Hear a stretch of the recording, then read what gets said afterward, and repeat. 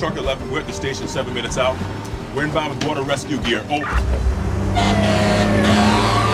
Tommy Shine's a firefighter, and uh, he's one of the first people at the scene when John falls through the ice.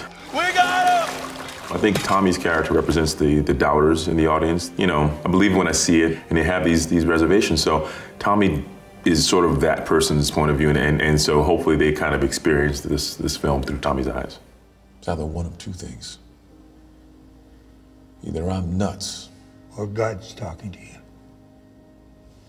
in which case, I got a big personal problem. What's that?